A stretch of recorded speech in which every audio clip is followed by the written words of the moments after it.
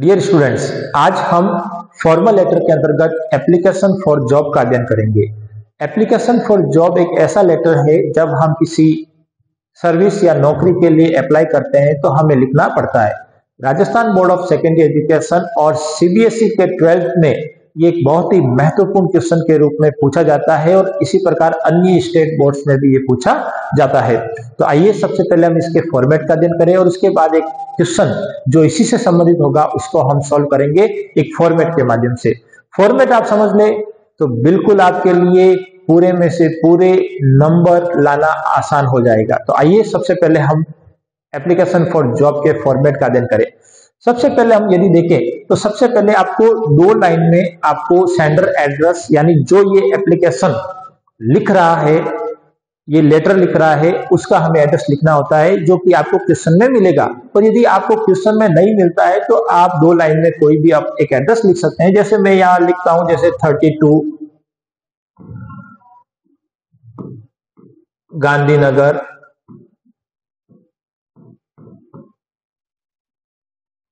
और एक जगह का नाम जैसे मैं यहाँ लिख देता हूँ, जोधपुर। तो ये दो लाइन का एड्रेस आपको सेंडर एड्रेस के रूप में लिखना है। इसके बाद आपको D D M M M Y Y की डेट में आपको इसकी डेट लिखनी है, यानी दो अंकों की डेट। इसके बाद अल्फ़ाबेट में महीने का नाम, जिस महीने में आप वो लेटर लिख रहे हैं या एग्ज़ाम हो, वो डेट आप लिख सकते हैं। और ईयर। इसके बाद रिसीवर एड्रेस अगेन आपको दो लाइन में इसका एड्रेस लिखना है। अब वो किसको लिख रहे हैं? एक स्कूल के लिए लिख रहे हैं तो वहाँ का एड्रेस हो जाएगा। किसी अन्य फर्म या ऑर्गेनाइजेशन या कंपनी में लिख रहे हैं तो उसका वो आपका एड्रेस लिखना है। इसके बाद आपको लिखना है सब्जेक्ट अब सब्जेक्ट में हम लिखेंगे application for the post of और जो भी पोस्ट है, वो हम यहाँ लिखेंगे। तो यहाँ आ जाएगा application for the post of और जो भी पोस्ट के लिए आप अप्लाई कर रहे हैं, चाहे टीचर के लिए कर रहे हैं, चाहे लेक्चरर के लिए कर रहे हैं, चाहे क्लर्क के लिए कर रहे हैं, चाहे कंप्यूटर टीचर के लिए कर रहे हैं, कोई भी जॉब जिससे संबंधित वो क्वेश्चन है, उसका आप यहाँ पर मेंशन कर सकते हैं। तो हम यहाँ लिख सकते हैं एप्लीकेशन मैं यहाँ लिख देता हूँ।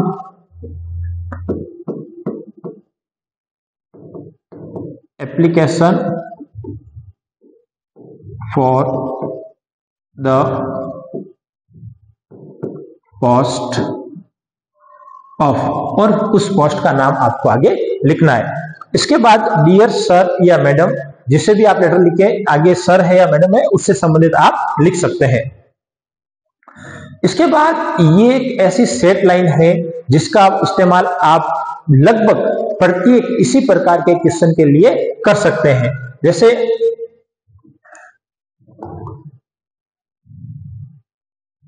सबसे पहले यहाँ आ जाएगा आपका this is response to your advertisement यहाँ से आपको शुरुआत करनी, चाहे एप्लीकेशन फॉर जॉब कैसा भी हो, किसी से भी संबंधित हो, ये लाइन आपको याद हो जाती है। तो आप जैसा भी क्वेश्चन है, हम इन्हीं लाइनों को काम में लेकर एक क्वेश्चन इसके बाद सॉल्व करेंगे, आप देखना। This is response to your advertisement in newspaper यहाँ पर अब आपको क्या करना है न्यूज़ पेपर का नाम लिखना है। तो यहाँ पर क्या हो जाएगा? This is response to your advertisement in और न्यूज़पेपर यानी यहाँ पर आप न्यूज़पेपर का नाम लिख सकते हैं। न्यूज़पेपर आप चाहे तो टाइम्स ऑफ़ इंडिया रख सकते हैं हिंदुस्तान टाइम्स कर सकते हैं राजस्थान पत्रिका कर सकते हैं दैनिक भास्कर कर सकते हैं।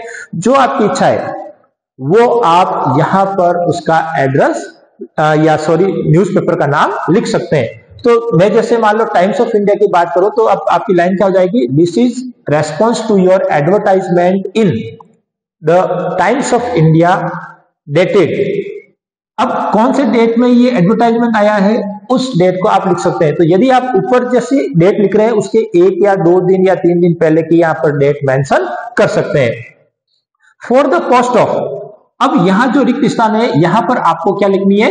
कॉस्ट जैसे टीचर है लेक्चरर है तो वो यहाँ लिख सकते हैं। किसी हॉस्पिटल में आप अप्लाई कर रहे हैं तो डॉक्टर या जो भी पोस्ट है, वो आप लिख सकते हैं। किसी ऑर्गेनाइजेशन में आप किसी पोस्ट के लिए अप्लाई करें तो उस पोस्ट का नाम यहाँ पर लिख सकते हैं। उसके बाद आप लिखेंगे I am applying for the post of यानी ये एडवर्टाइजमेंट इस पोस्ट के लिए था और मैं इसी पोस्ट के लिए अप्लाई कर रहा हूँ। यानी मान लो एक ही एडवर्टाइजमेंट में दो तीन पोस्ट है तो आप जिस पोस्ट के लिए अप्लाई कर रहे हैं, वो है। यदि एडवर्टाइजमेंट में एक ही पोस्ट है तो दोनों में आपको उसी पोस्ट का नाम लिखना है। देन आगे क्या लिखा हुआ है? I am dot dot dot अब यहाँ पर आप क्या लिखेंगे? यहाँ पर आपको लिखनी है अपनी क्वालिफिकेशन जैसे टीचर के लिए यूजी पीजी प्लस बीएड तो यहाँ आप लिख सकते हैं I am post graduate plus BEd यदि आपकी किसी कंप्यूटर टीचर की रिक्वायरमेंट है तो कंप्यूटर टीचर से संबंधित आप चाहे तो बीसीए या एमसीए मेंशन कर सकते हैं। तो यहाँ पर आप क्या लिखेंगे? अपना एजुकेशन या क्वालिफिकेशन देन आपका एक्सपीरियंस यहाँ पर अगला सेंटेंस होगा, वो होगा I have been working as a यानी मैं काम कर रहा हूँ, क्या काम कर रहा हूँ? तो यहाँ पर उस पोस्ट का या पद का डेजिग्नेशन का नाम आपको लिखना है। जैसे लेक्चरर है तो आप क्या लिखेंगे? I have been working as a teacher या लेक्चरर या कंप्यूटर टीचर या नर्स या कंपाउंडर जो भी नर्सिंग ऑफिसर जो भी आप लिखना चाहे, जिससे संबंधित क्वेश्चन है, वो आप लिख सकते हैं फॉर फाइव ईयर ये फाइव ईयर यहाँ पर शो कर रहा है एक्सपीरियंस तो अकॉर्डिंग टू क्वेश्चन यहाँ पर आप चेंज कर सकते हैं, किसी में थ्री ईयर एक्सपीरियंस है, किसी में यदि एक्सपीरियंस मेंशन नहीं है या नहीं मांगा गया है तो भी आप इसको लिख सकते हैं। इसके बाद आप लाइन लिखेंगे I am sending my CV CV का मतलब होता है करिकुलम विटे या बायोडेटा या रिज्यूम तो I am sending my detail CV for your kind consideration और मैं अपनी डिटेल सीवी या बायोडेटा है, वो आपके कंसिडरेशन के लिए भेज रहा हूँ। फिर आप लिखेंगे थैंकिंग यू यहाँ आप लिख देना। थैंकिंग यू योर फेथफुली और फिर सेंडर्स नेम और सिग्नेचर यानी आपको यहाँ पर जो सेंड कर रहा है, इस लेटर को जो लिख रहा है राइटर है, उसका आपको केवल यहाँ पर नाम लिखना है। इतना काम करने के बाद आपको एक बायोडेटा यानी सीवी करिकुलम विटेक आपको लिखनी है। तो इस फॉर्मेट में अब आप करिकुलम डिटेल लिखेंगे ताकि यहाँ पर आप अच्छे अंक प्राप्त कर सके। अब करिकुलम बट्टे में आप क्या लिखेंगे? सबसे पहले नेम यहाँ पर आप अपना नाम लिखेंगे। नाम लिखने के बाद फादर नेम मदर नेम यहाँ पर ये लिखेंगे। इसके बाद डेट ऑफ़ बर्थ आप डेट ऑफ़ बर्थ लिखेंगे। तो डेट ऑफ़ बर्थ आप कोई भी एक काल्पनिक लिख सकते हैं। अब इसको निकालने का आइडिया मैं बता दूँ।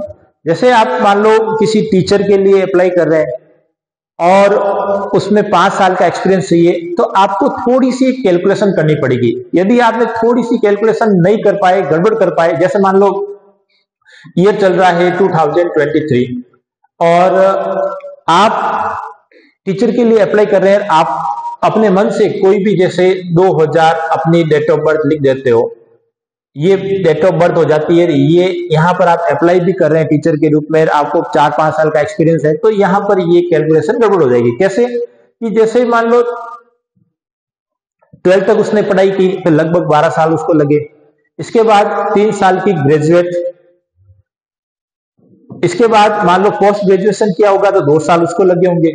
एक या दो साल की बीएड पहले एक साल की होती थी, फिर दो साल की होने लगी। मान लो एक साल की बीएड भी हम माने उसका एक वर्ष, फिर पाँच वर्ष का एक्सपीरियंस तो यदि हम इसको भी टोटल करें तो आप देखिए ट्वेल्व और three fifteen sixteen seventeen eighteen eighteen और फिफ्टीन ट्वेंटी थ्री तो यही हो गए।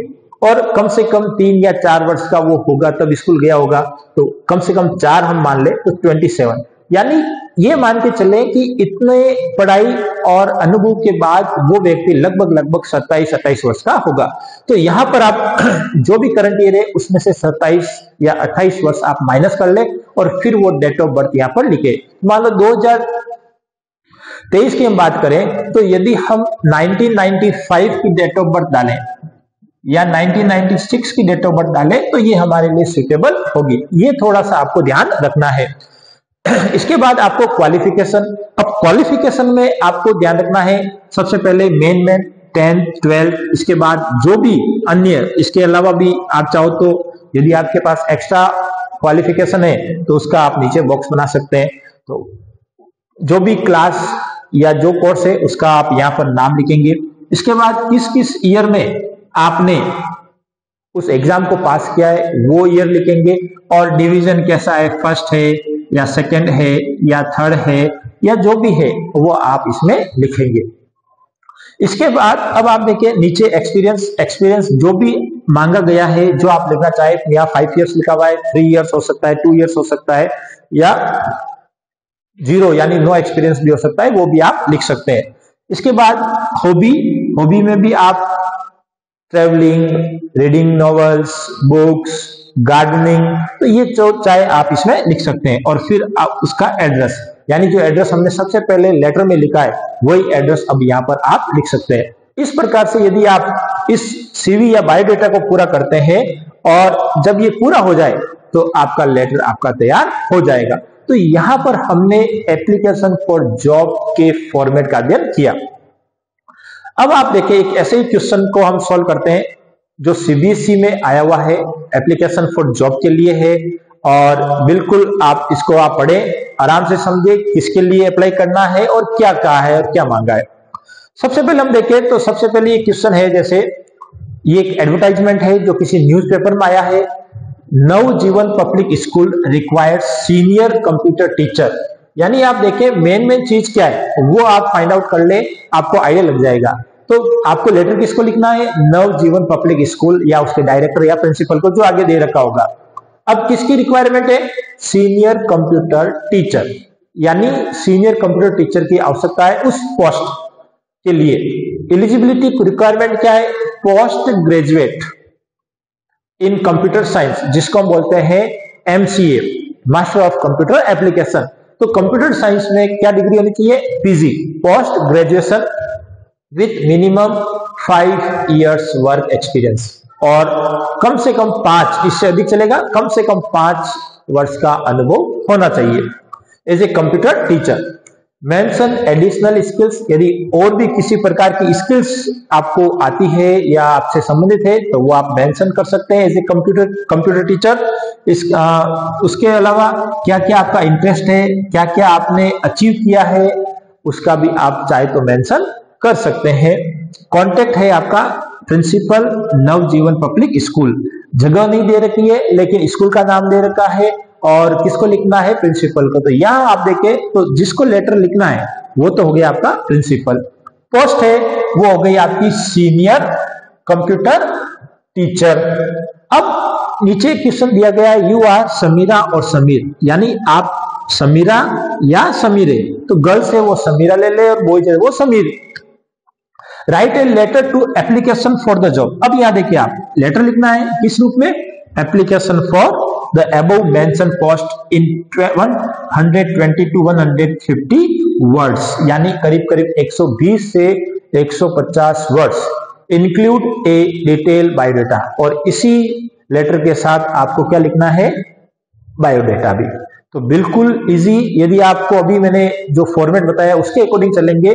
तो ये क्वेश्चन आराम से 120 और 150 वर्ड्स में लिखा जाएगा। किसी भी प्रकार की आपको एक बार उस फॉर्मेट को ढंग से पढ़ना है, याद करना है और फिर इससे संबंधित चाहे कैसा भी लेटर हो, आप उसको आसानी से कर पाएँगे। ये मैंने इसी से, फॉर्मेट से और इसी क्वेश्चन को वापस इसको मैंने बताया है कि किस प्रकार से ये एप्लीकेशन फॉर जो जॉब इस क्वेश्चन के लिए लिखा जाएगा, उसको हम पढ़ते हैं, देखते हैं।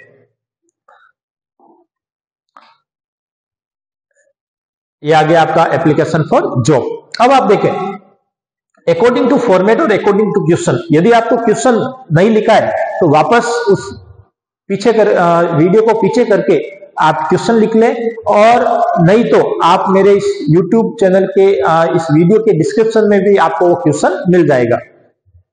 अब आप देखें तो सबसे पहले हम एड्रेस देख लें। तो एड्रेस उस क्वेश्चन में नहीं दिया गया था।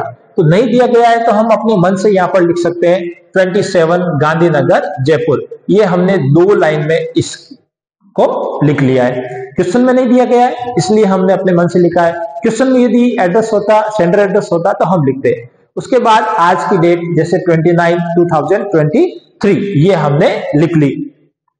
इसके बाद आप देखें, दो लाइन में किसको लिखना है? The principal Navjeevan Public School और जगह का नाम नहीं है तो हम यहाँ पर जगह लिख सकते हैं, जयपुर। एक आप आप जो चाहे वो लिख सकते हैं। इसके बाद सब्जेक्ट अब आप सब्जेक्ट देखें। Application for the post of senior computer teacher बस। तो लाइन सेम रहेगी। Application for the post of senior computer teacher यहाँ पर आप जो अलग की किसी प्रकार का क्वेश्चन हो तो वो आप लिख सकते हैं। अदरवाइज़ ये हमने लिख ही दिया। फिर डियर सर अब आप देखें this is response to your advertisement in the Times of India अब आप देखें सेम लाइन है। हमने क्या चेंज किया? एक न्यूज़पेपर का नाम लिखा। हालाँकि क्वेश्चन में नहीं दिया हुआ था, लेकिन हमें यहाँ पर अपने मन से लिखना है। आप जो चाहे टाइम्स ऑफ़ इंडिया लिखना चाहो द हिंदू लिखना चाहो, या अन्य अखबार का नाम आप चाहे तो लिख सकते हैं। तो this is response to your advertisement in the Times of India dated जो डेट यहाँ हम लिख रहे हैं, उसके दो चार दिन पहले की आपको डेट लिखनी है dated 26 November 2023 for the post of senior computer teacher यहाँ देखिए आप, यदि हम फॉर्मेट के अकॉर्डिंग चले तो ये हमने यहाँ पे लिख दिया। I am applying for the post of senior computer teacher और मैं किसके लिए अप्लाई कर रहा हूँ? सीनियर कंप्यूटर टीचर की पोस्ट के लिए। आई एम अब यहाँ पर आपको क्वालिफिकेशन लिखनी है, जो मैंने लिखी है I am M C M C A मतलब आप master of computer application degree holder है, यानी इसकी आपको, आपके पास डिग्री है। I have been working as a senior computer teacher for five years और मैं पाँच वर्ष के रूप में या छह वर्ष के रूप में एक कंप्यूटर टीचर के रूप में काम कर रहा हूँ। आप चाहे तो किस स्कूल में काम कर रहे हैं, उस स्कूल का नाम भी आप मेंशन कर सकते हैं कि I have been working as a senior computer teacher in Bright Moon Public School Jaipur किसी भी अन्य स्कूल का नाम आप लिखकर फॉर फाइव ईयर्स लिख सकते हैं। अब इसके लिखने के बाद आप लिखेंगे I am sending my detail CV for your kind consideration यानी मैं, मेरी सीवी है या बायोडेटा है, वो आपके कंसिडरेशन के लिए भेज रहा हूँ। और फिर यहाँ पर आप लिखेंगे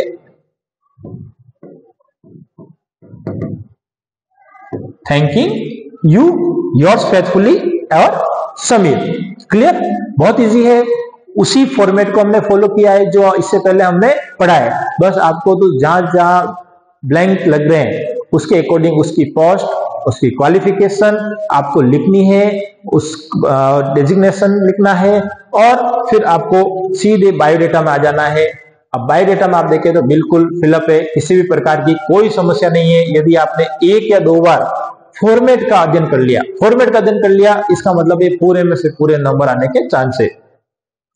अब डिटेल सीवी यानी करिकुलम विटे हम जिसको सीवी बोल रहे थे इसकी ये फुल फॉर्म है करिकुलम विटे यानी पूरा आपका डिटेल बायोडेटा सबसे पहले नेम तो हमने लिख दिया समीर। फिर फादर नेम एक उसी का एक काल्पनिक नाम हम लिख सकते हैं, Tarun Gupta. Mother's name Anjali Gupta. Then date of birth ये हमने according to experience according to degree हमने एक डेट लिख दी है birth date twenty fifth July 1996 इसके बाद क्वालिफिकेशन क्या क्या क्वालिफिकेशन है? तो यहाँ देखें आप टेंथ 2010 ट्वेल्थ 2012 बीसीए 2015 एमसीए 2017 और डिवीज़न सभी का first first first division clear होगी चीज़?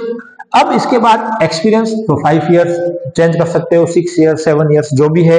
फिर हॉबी या मैंने लिख दी गार्डनिंग जो चाहे आप लिख सकते हो। एग्जामिनर को उससे कोई फ़र्क नहीं पड़ेगा।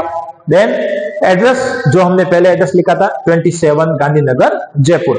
तो डियर स्टूडेंट्स इस प्रकार से यदि आप एप्लीकेशन फॉर जॉब लेटर का फॉर्मेट का अध्ययन कर लेते हैं, किसी भी प्रकार के क्वेश्चन का हम यदि अध्ययन करें और उसको एप्लीकेशन फॉर जॉब में कन्वर्ट करें तो हमारे लिए बहुत आसान हो जाएगा। और जब आप पूरे लेटर को और इस करिकुलम विटे को जब आप देखोगे तो बिल्कुल जो हमने मेंशन किया था 120 टू 150 वर्ड्स लिमिट उसी के अकॉर्डिंग ये लेटर लिखा गया है। तो डियर स्टूडेंट्स बहुत ही इजी और पूरे में से पूरे अंक मार्क्स लाने का एक रामबाण इलाज है। डियर स्टूडेंट्स वीडियो कैसा लगा? पसंद आए तो लाइक करें शेयर करें और यदि चैनल पर नए हैं तो चैनल को ज़रूर सब्सक्राइब करें। Thank you